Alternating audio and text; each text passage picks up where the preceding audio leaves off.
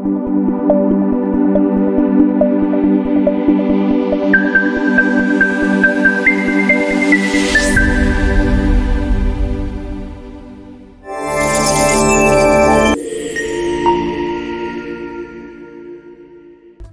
Tuấn Việt Khay đối thoại cùng bi thủ, hai câu hỏi khó nhằn nhất P quốc Chào bạn, chào các pioneer. Mới đây trên trang cá nhân của thầy Tuấn Việt Khay đã tâm quyết vấn đáp các vấn đề liên quan đến Bitcoin.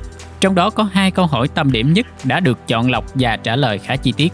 Nội dung này mang tính tham khảo rất cao đối với dự án Bitcoin, là một góc nhìn rất đáng để các bạn học hỏi và tìm hiểu về công nghệ. Hôm nay, P Daily sẽ tổng hợp lại bài viết này và biên tập thành video để các bạn dễ dàng theo dõi. Xin mời các pioneer hãy cùng theo dõi ngay sau đây. Đối thoại cùng bi thủ. Câu hỏi số 1. Có cần một đồng tiền chung cho cả thế giới trong giao dịch quốc tế hay không? Và liệu P quốc có thể là một đồng tiền chung của cả thế giới như trong sách trắng của Picotim kỳ vọng hay không? Câu trả lời của tôi là cho đến một tương lai dài nữa vẫn không thể có một đồng tiền chung cho toàn thế giới vì có nhiều lý do phức tạp liên quan đến kinh tế, chính trị, văn hóa và lịch sử. Dưới đây là những yếu tố chính. Một, khác biệt về chính trị và chủ quyền quốc gia. Mỗi quốc gia có chính sách tiền tệ riêng để bảo vệ lợi ích kinh tế và xã hội của mình. Một đồng tiền chung sẽ yêu cầu các nước từ bỏ quyền kiểm soát này, điều mà hầu hết các quốc gia không sẵn sàng thực hiện. Sự khác biệt về ý thức hệ chính trị, mục tiêu phát triển và lợi ích quốc gia khiến việc đạt được sự đồng thuận rất khó khăn. 2. Chênh lệch về trình độ phát triển kinh tế. Các quốc gia có mức độ phát triển kinh tế khác nhau, từ nước giàu đến nước nghèo. Một đồng tiền chung sẽ không thể phù hợp với mọi nền kinh tế. Ví dụ, một chính sách tiền tệ phù hợp với các nước phát triển có thể gây ra lạm phát hoặc suy thoái ở các nước đang phát triển. 3. Sự khác biệt về văn hóa và xã hội. Tiền tệ không chỉ là công cụ kinh tế mà còn là biểu tượng văn hóa gắn liền với bản sắc dân tộc Việc từ bỏ tiền tệ riêng có thể gây mất mát về mặt tinh thần đối với nhiều quốc gia. 4. Khó khăn trong việc quản lý kinh tế toàn cầu. Một đồng tiền chung cần một cơ quan quản lý trung ương toàn cầu để điều hành chính sách tiền tệ, kiểm soát lạm phát, lãi suất và tỷ giá hối đoái. Tuy nhiên, việc thiết lập một cơ quan như vậy là không thực tế do sự khác biệt về lợi ích và mức độ tin tưởng giữa các quốc gia. 5. Khủng hoảng tài chính toàn cầu nếu có một đồng tiền chung, một cuộc khủng hoảng tài chính ở một khu vực có thể nhanh chóng lan rộng và ảnh hưởng đến toàn thế giới vì không có cách nào để một quốc gia tự điều chỉnh chính sách tiền tệ để khắc phục vấn đề. 6. Bài học từ các liên minh tiền tệ khu vực. Khu vực đồng euro, eurozone là một ví dụ. Mặc dù các nước trong khu vực sử dụng đồng euro, sự khác biệt kinh tế giữa các thành viên như Đức và Hy Lạp dẫn đến nhiều căng thẳng và khủng hoảng Điều này cho thấy việc duy trì một đồng tiền chung đòi hỏi sự phối hợp rất chặt chẽ, ngay cả khi các quốc gia trong cùng khu vực địa lý có mối quan hệ gần gũi. 7. Tự do điều chỉnh chính sách kinh tế. Mỗi quốc gia cần sử dụng công cụ tiền tệ để ứng phó với các vấn đề kinh tế riêng như khủng hoảng tài chính, thất nghiệp hay lạm phát. Một đồng tiền chung sẽ làm giảm khả năng tự điều chỉnh này.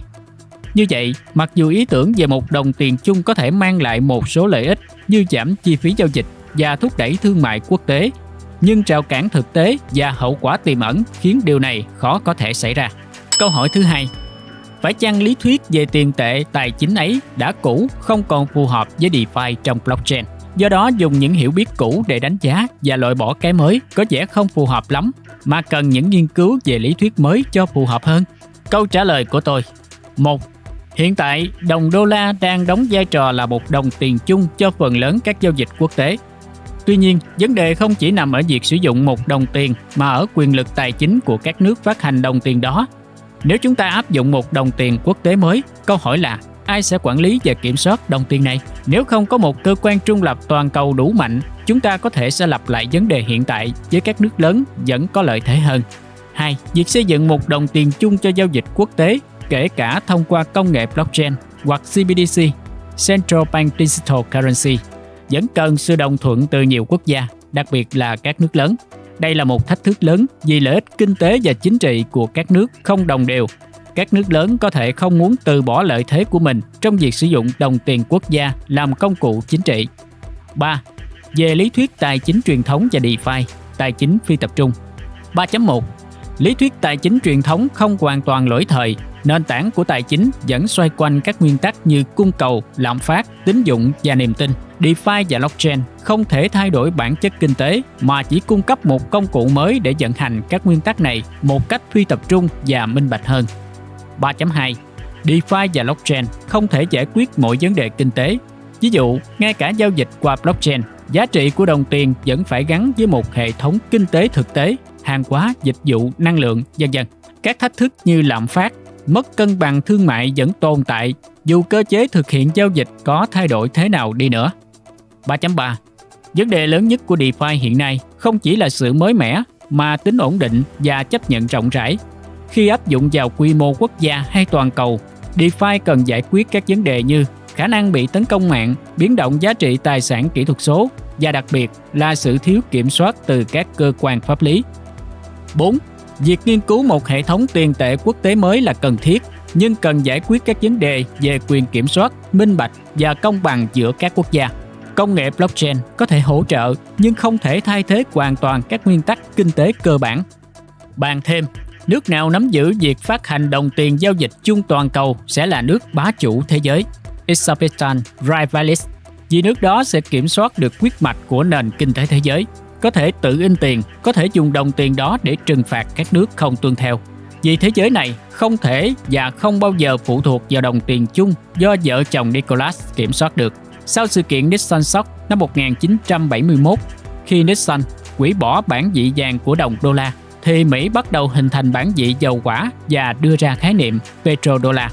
Bắt đầu từ năm 1974, bằng việc ký kết với Ả Rập Saudi, một quốc gia sản xuất dầu lớn nhất thế giới, sẽ giao dịch mua bán dầu bằng đô la. Thỏa thuận này nhanh chóng lan rộng sang các quốc gia OPEC khác, thiết lập đô la là đồng tiền chủ chốt trong thương mại dầu mỏ.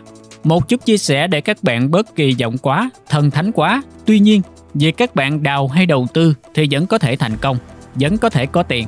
Ngay đến meme coin không có giá trị mấy và chỉ là trò đùa mà còn thành công đấy thôi. Chốn quá 61 tỷ đô la, top 7 chốn quá của crypto. Tôi chẳng phản đối, tôi chỉ phản đối khi cho rằng đó là cơ hội của cả dân tộc này mà thôi. Các bạn đừng nghĩ tôi quay xe hay trước sau bất nhất. Tôi phát biểu khi các bạn hỏi thì tôi trung thành với hiện trạng thực tế. Lúc chưa có ví, chưa có blockchain thì tôi nói là chưa. Đến khi nó có rồi thì cập nhật nó là đã có. Lúc chưa có giá trị thì nói là nó vẫn chưa có. Khi nào có thì sẽ lại cập nhật tiếp nếu cần. Một công trình khi mới xây dựng được cái móng thì tôi nói rằng nó đang chỉ có cái móng mà không thể nói là đã là tòa nhà 100 tầng được. Tôi cũng phát biểu dựa trên cơ sở lý thuyết và thực tiễn chứ không bằng niềm tin, tầm nhìn không có cơ sở. Thân mến với các bạn bi thủ văn minh lịch sự. Trên đây là nguyên văn mà thầy Tuấn đã phúc đáp cùng các anh em bi thủ về tiềm năng và cơ hội của Network. CryptoLetVN rất vui khi cùng các pioneer đồng hành và khám phá Network trong suốt thời gian vừa qua. Cảm ơn cộng đồng đã tin tưởng và ủng hộ kênh. Nếu thấy video hữu ích, các bạn hãy subscribe, like, share để lan tỏa thông điệp đến với cộng đồng, giúp mọi người hiểu thêm về dự án Pinetwork và giao dịch an toàn. Cảm ơn tất cả các pioneer đã chú ý theo dõi. Xin chào và hẹn gặp lại trong những video sau.